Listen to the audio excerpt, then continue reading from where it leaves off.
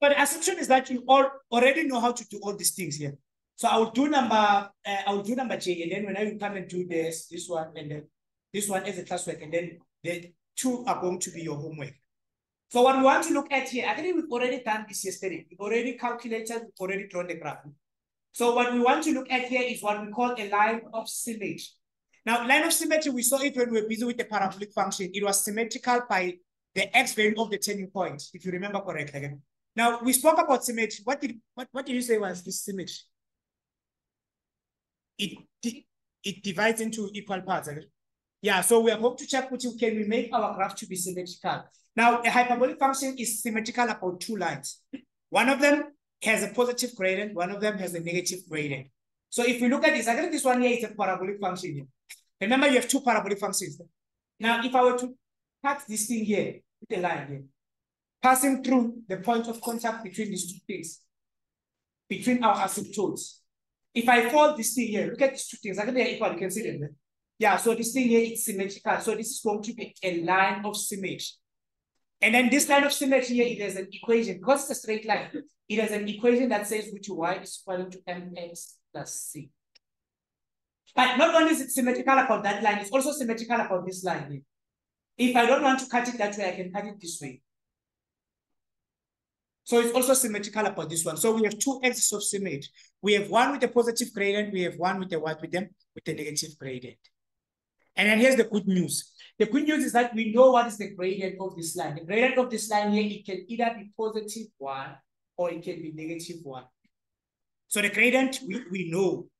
What we don't know is the value of C. We don't know what is the value of C, but we can get it. Now, how do we get the value of C? There are many ways in which you can get the value of C.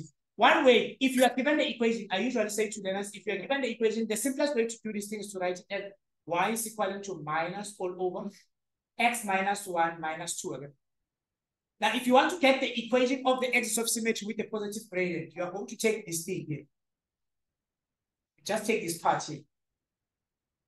And then this is going to give you the equation of the axis of symmetry. So when you're going to have y, which is going to be equal to x minus 1 minus 2. And then if you say minus 1 minus 2, is going to say x minus minus is going to give you minus 3. Then this is the equation of the axis of symmetry with a positive gradient. And then let's say you want to get the one with the negative gradient. How do you get the one with the negative gradient? You still do exactly the same thing. I'm going to take this. Can I'm doing this one. I'm going to take this thing here. Except which on the denominator, I'm going to come and put negative outside. So if we take the one with the negative, this is how we're going to have it. We're going to have y, which is going to be, I can take everything and then I just put a negative outside. Then it says I'm going to have open bracket x minus 1, oh, close bracket minus 2. And then now I'm going to multiply with this negative. Negative multiplied by. Minus x. Again, negative and negative. It gives us what? Plus 1 minus 2. Now, if you do this and then you are going to have 1 minus 2 again. What is going to be 1 minus 2? Minus x minus 1. And then this is going to be axis of symmetry with the positive gradient, axis of symmetry with the what with the with the negative gradient. Now we should be able to come and plot these things. So we have x minus 3, and then here we have y, which is going to be minus x minus 1. Now, clearly, this is a this, this is a straight line. Okay? If you have straight line, you just have to know which one is going to be the x-intercept, what is going to be the y-intercept. So for this one, it says it's going to pass through at minus 3, as you can see. It should pass through at minus 3. Again, if I make this to be 0, remember, if I make this to be 0, what am I going to have? I'm going to have y is equal to y to minus 3. And it's also going to pass through at 3 here. And it's also going to pass through this point. Then after that, I am going to have something that looks like this. So I have something that looks like this. So this, this one is the one with the positive gradient. Okay? Now let's check the one with the negative gradient. How is the one with the negative gradient going to look like? So you can make this to be zero. If you make this to be zero, it says which y is going to be equal to two minus one. So it should pass through it minus one. So we'll come and put that. Okay, this thing here should pass through it minus one.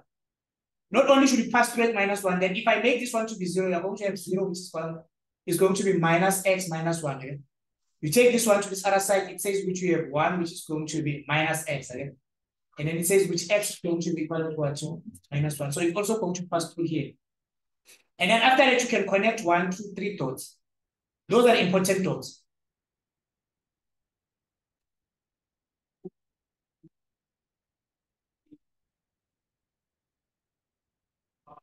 Yeah, if it's drawn to scale, then it's supposed to. Yeah, then these are the two axes of symmetry that you can have. Now, chances are, examination, they will ask you about one. They will tell you, which give us an axis of symmetry with a positive gradient. Give us an axis of symmetry with a negative gradient. So what are we doing now? Come and do the following one. You are going to do number, uh, yeah, you're going to do number G. You're going to do number I as a task work now. You are doing the edge, you are determining the axes of symmetry and then you represent it graphically.